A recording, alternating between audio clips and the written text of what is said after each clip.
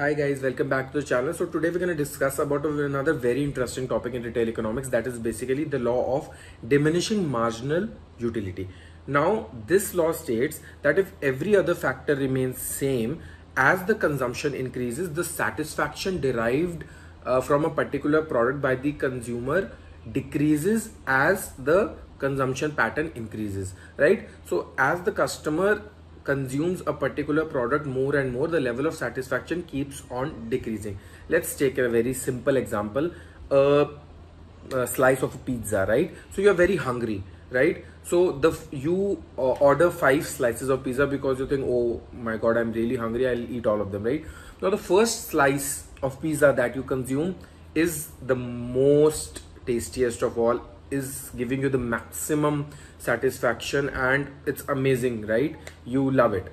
The second one the second one is basically your stomach is half full you eat one uh, the second one more. But the satisfaction from the second slice of pizza is not as much as the first one.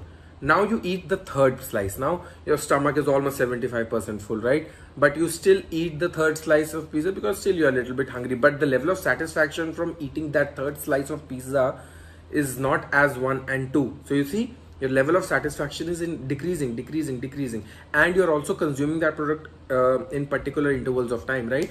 Uh, there's not much gap between that right? Now somehow you have finished the third slice also. Now the by uh, the third slice is finished you have fourth and fifth slice you have no more space in your stomach to eat that.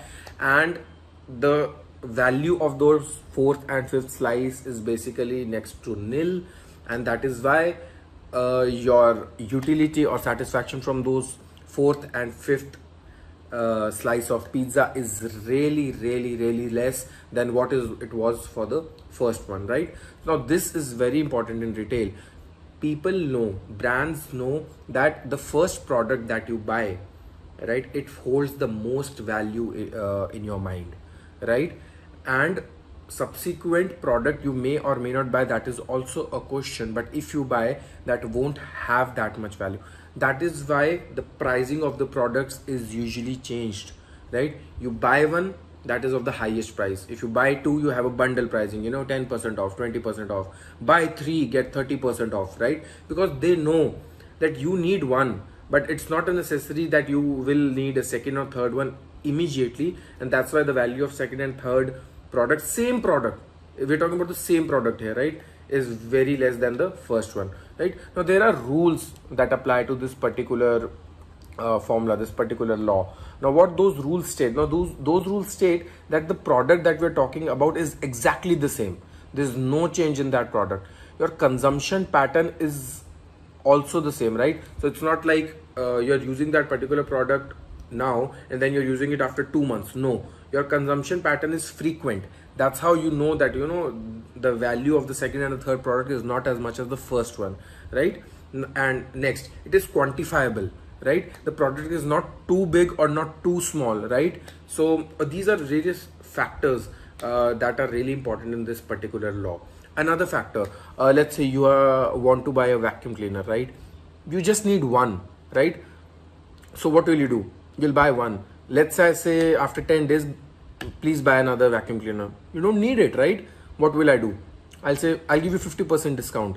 You still don't need it right? But the first one that you buy bought that has the value for you right? Because that's going to clean your house. Second one is going to do nothing for you right? That's how it is right? So the more and more you consume the same exact product the value or the satisfaction derived from that uh, second third fourth product decrease right? That's how it works. Burgers. So if i give you 10 burgers to eat you'll eat one very happily. You'll eat second happily maybe third also. But after that each burger that you eat you're gonna hate it if not hated, it's not gonna be you know as tasty as the first or the second one. Right? So that's how it works right? So marginal utility basically means marginal utility as a definition basically means the incremental value of satisfaction that a consumer uh, uh, perceives or you know uh, feels right? So diminishing marginal utility means decrease in that level of satisfaction right? That's why pricing is very important.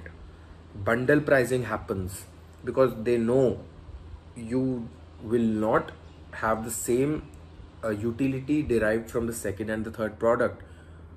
Let's say you want to buy a backpack right? You want to travel you want to buy a backpack. I say hey buy this backpack for $100 if you buy two you get 5% discount. If you buy three backpacks i'll give you 20% discount. You don't need three backpacks right?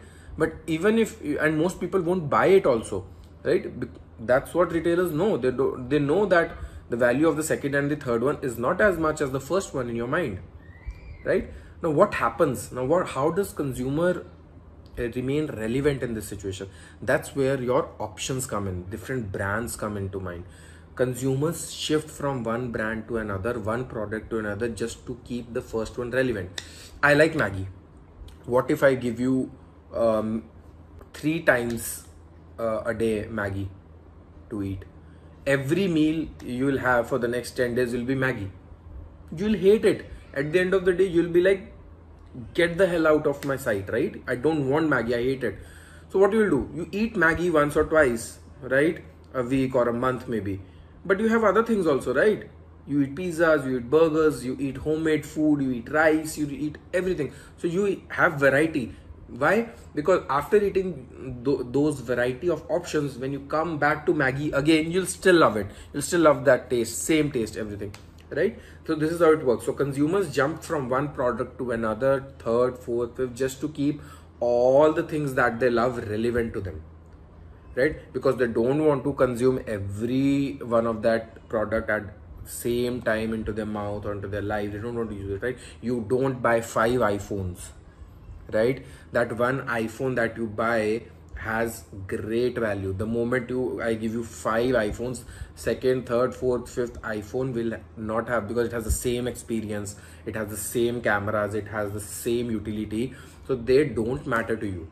That's how it keeps on diminishing. Again i'm telling you this concept means only relevance when that if we're talking about one particular product and the next product that you consume is also the same. Banana versus banana apple versus apple nothing changes. Only in that scenario. We are not comparing two different products. I'm not comparing a one flavor to another. No exact flavor. That's how it uh, this law basically matters right? So i hope it was very easy to understand very easy concept nothing difficult right? Please like subscribe and share and yeah take care of yourself. Bye